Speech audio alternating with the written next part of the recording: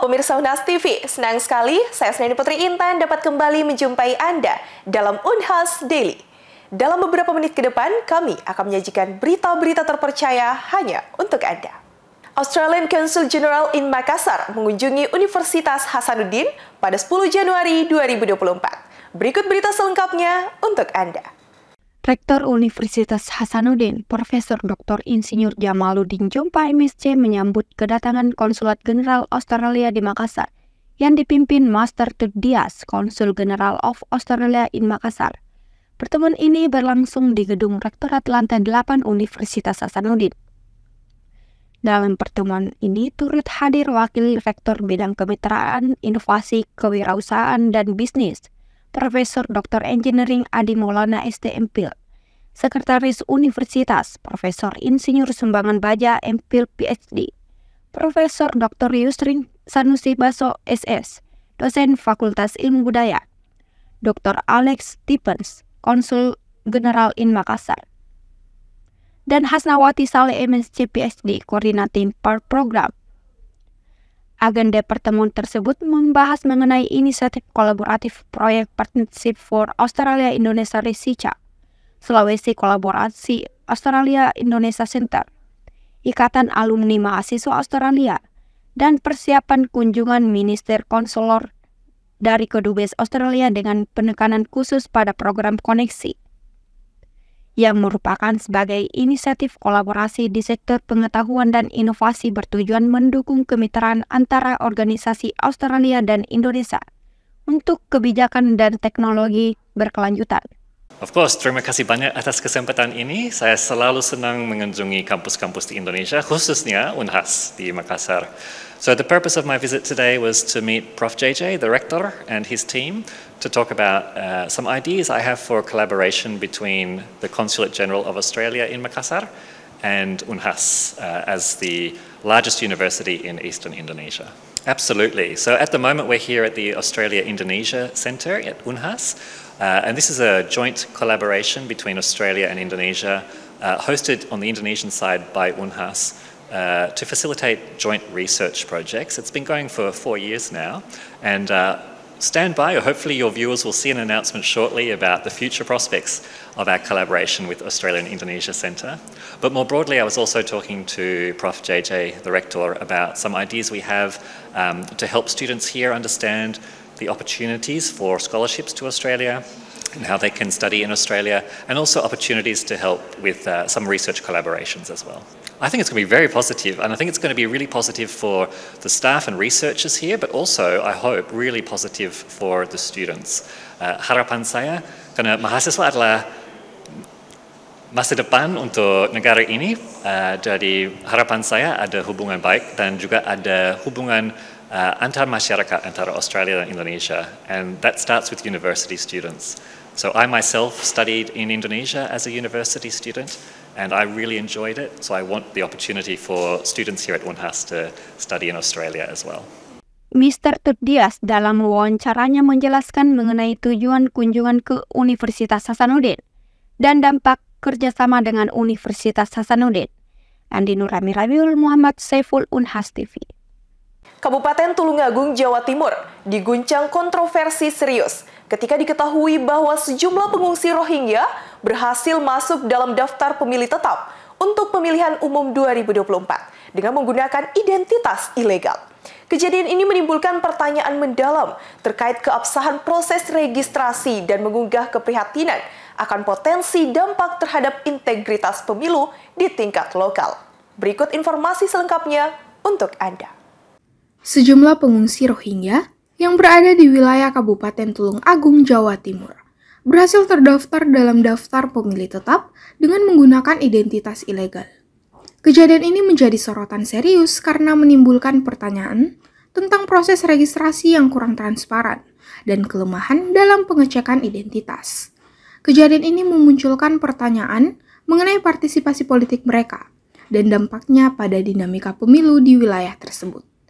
Dalam perkembangan yang mengejutkan, Sejumlah pengungsi Rohingya dilaporkan telah masuk dalam daftar pemilih tetap untuk pemilihan umum 2024 di Kabupaten Tulung Agung.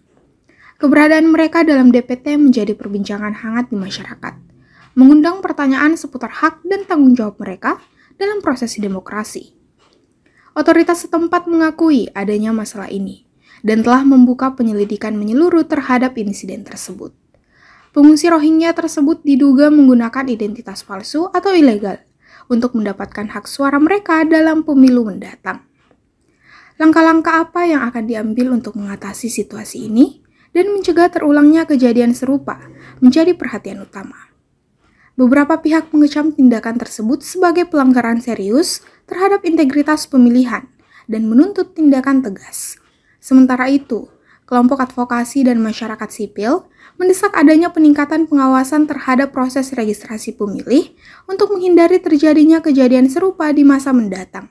Kalau terkait dengan uh, status pengungsi uh, yang kemudian uh, bermukim di wilayah NKRI, maka kemudian di dalam konteks regulasi kepemiluan kita kan mengatur bahwa yang menjadi uh, yang memiliki hak untuk memilih hak pilih itu adalah warga negara Indonesia. Dalam kapasitas ini artinya dia sudah diakui dan sah uh, sebagai bagian daripada warga negara Indonesia yang kemudian dibuktikan dengan kepemilikan uh, bukti administrasi kependudukan. Ya, salah satu yang menjadi dasar di dalam administrasi kependudukan ini kan adalah uh, kartu tanda kependudukan dan kartu uh, keluarga. Nah, sehingga apabila kemudian pengungsi ini sudah beralih menjadi uh, warga negara Indonesia dengan syarat-syarat dan ketentuan yang uh, diatur di dalam undang-undang kewarganegaraan kita maka uh, yang bersangkutan setelah memiliki kartu tanda penduduk memang memiliki sudah uh, otomatis menjadi bagian daripada warga negara yang memiliki hak untuk memilih. Tapi sepanjang uh, bahwa yang bersangkutan pengungsi dari luar uh, ini adalah pengungsi yang kemudian bermukim sementara di uh, Indonesia dan tidak memiliki kartu tanda kependudukan dan artinya bahwa juga belum disahkan oleh negara sebagai warga negara kita maka uh, bahwa kemudian tercatat di dalam daftar pemilih. Tetap ini saya kira yang perlu uh, dievaluasi dan perlu dicermati bersama karena berpotensi sebagai salah satu bentuk pelanggaran di dalam uh, proses uh, penyelenggaraan kepemiluan kita. Ini pelanggaran administrasi kepemiluan ketika uh, orang yang tidak berhak untuk menjadi uh, wajib pilih lalu kemudian namanya ada di dalam DPT.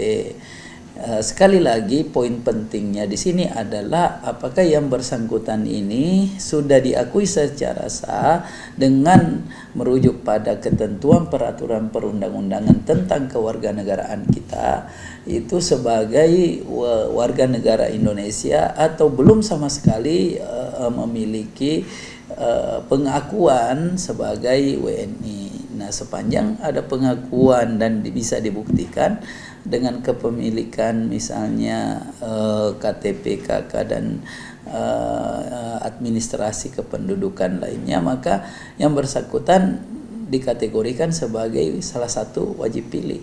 Tapi kalau kemudian syarat-syarat bahwa sebagai warga negara Indonesia nya tidak terpenuhi, ya lalu kemudian nama pemilih ini ada di dalam DPT kita, ini yang harus betul-betul dicermati lagi karena ada potensi terjadinya dugaan pelanggaran uh, administrasi dan pidana kepemiluan.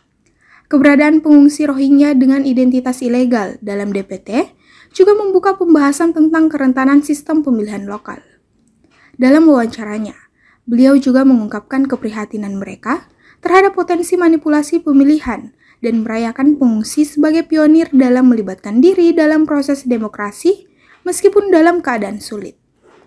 Pertanyaan tentang bagaimana pengungsi Rohingya dapat menggunakan identitas ilegal untuk memasuki DPT menjadi pusat perhatian, menyoroti kelemahan dalam sistem verifikasi identitas pemilih. Seiring berjalannya waktu, perkembangan investigasi dan tindakan yang diambil oleh otoritas akan menentukan arah dan dampak dari skandal ini terhadap integritas pemilihan umum 2024.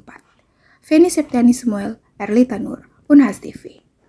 Pemirsa, berita tadi sekaligus menutup perjumpaan kita hari ini. Terus saksikan Unhas Daily hanya di Unhas TV. Saya Senini Putri Intan mewakili kurang bertugas, pamit undur diri, dan sampai jumpa.